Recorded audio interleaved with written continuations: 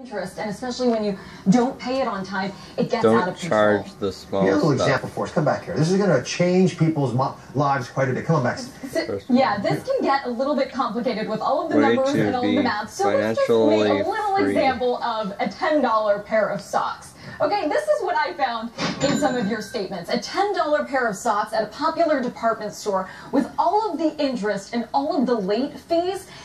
That $10 pair of socks, if you're not paying it off in one month, will cost you $17.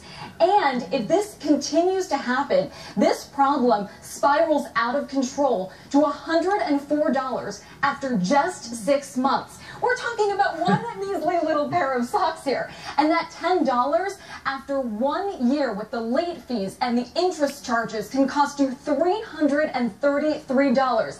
And get this, I know some of your bills are three years old. After three years, that $10 pair of socks will cost you $1,610. That is crazy. Sandy.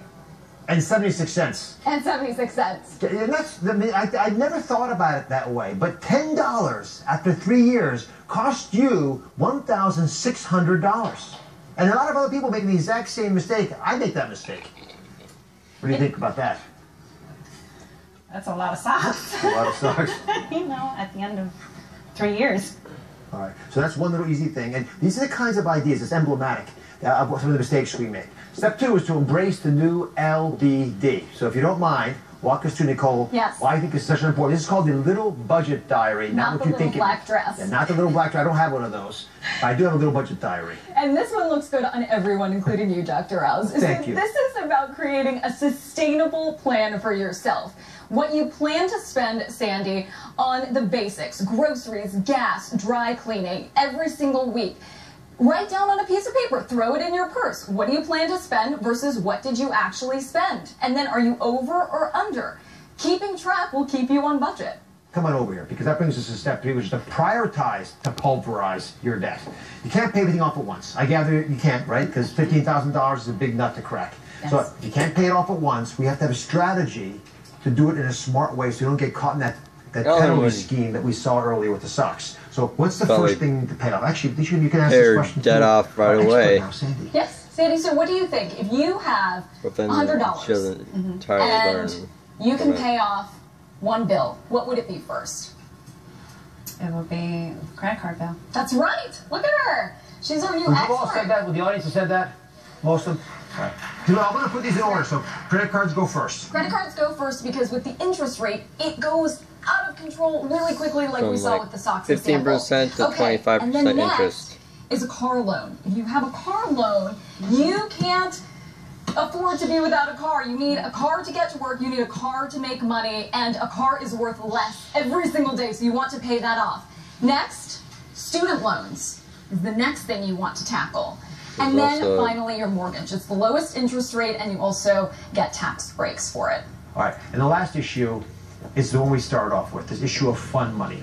And this is the part of the plan that's different from any other plan that I've ever offered on the show. Nicole, explain why this is such a big passion of yours. So 15% is the magic number. This is the extras that you're going to allow yourself every single month.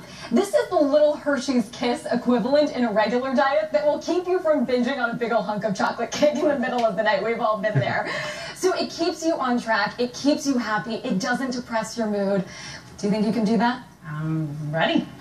How's your life going to be different if you can really make a big impact on that debt you fence right now? If those bill collectors weren't calling you 10 times a day, but maybe calling you twice.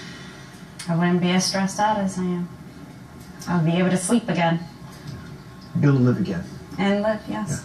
So Nicole's got lots of different things she want to give you. She can help you out with this. Plus, you got your good friend over there, Tara. What do you think about this, Tara? You think your friend can make these changes? Absolutely. She, you can do anything, Sandy. Help You her get help her a little in bit? the in- All the way. I'm with you.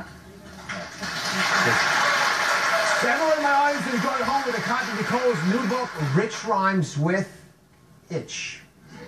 Rich something that rhymes with itch. Okay, thank you. We'll be right back. A daytime television event. Six years in the making.